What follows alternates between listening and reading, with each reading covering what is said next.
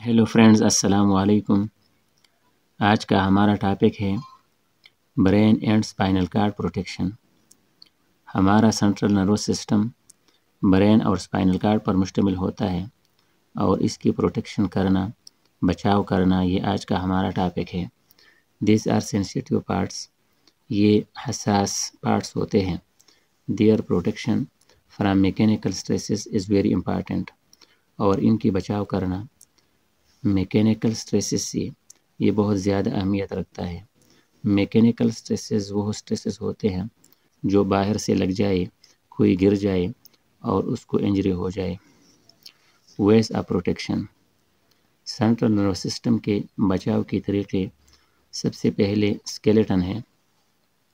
Brain protected by cranium हमारा head region skull पर मुश्तमिल होता है और स्कल के अंदर क्रेनियम वो पार्ट है, जो हमारे ब्रेन को प्रोटेक्ट करता है। इसी तरह हमारा वर्टेब्रल कॉलम हमारे स्पाइनल कार्ड को प्रोटेक्ट करता है। तो ये स्केलेटल प्रोटेक्शन था। और दूसरा हमारे पास मेनेंजस लेयर होता है। ये हमारे सेंट्रल नर्वस सिस्टम के इर्द गिर्द मौजूद होता है। यानी ब्रेन और स्पाइनल कार्ड दोनों के गिर्द मेनेंजस लेयर मौजूद होता है। इस मेनेंजेस की तीन लेयर्स होते हैं। Dura matter, arachnoid matter, pia matter, बाहर से अंदर की तरफ़। सबसे बाहर डेवरा मैटर, फिर दूसरा एरकनाइड मैटर, और सबसे अंदर वाला पिया मैटर। डेवरा मैटर डेवरा का माना होता है टफ, और मैटर का मतलब होता है मदर। यानी मदर जिस तरह अपने बच्चे की नरिशमेंट और प्रोटेक्शन करती है तो उसी तरह ये तीनों लेयर ब्रेन और स्पाइनल कार्ड की प्रोटेक्शन और नरिशमेंट करते हैं। अरकनाइड मैटर, अरकनाइड, अरकनेट से लिया गया है, यानी जो स्पाइडर या स्कारपियंस होते हैं, या स्पाइडर जो जाल बनाता है, उसी जाल की तरह ये दूसरा लेयर है। ये भी एक जाल की तरह फैला हुआ होता है और इसी और इसी के अंदर सेरेब्रोस्पाइनल फ्लूइड मौजूद होता है। तीसरा पिया मीटर है और ये थोड़ा बहुत नरम और मुलायम होता है और ये ज़्यादा वास्कुलराइज होता है ताकि ब्रेन की नरिशमेंट अच्छी तरह से की जाए।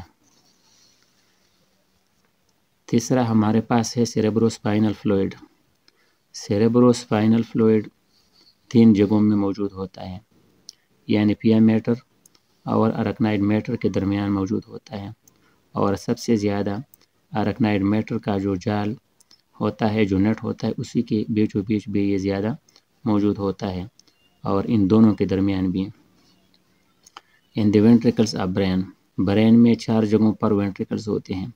यानी ब्रेन के मुख्तलिफ़ पार्ट्स के बीचों बीच जो खाली स्पेसेस होते हैं, वह spaces C S F fluid से भरे हुए होते हैं और वह कैविटीज़ वेंट्रिकल्स कहलाते हैं ब्रेन की।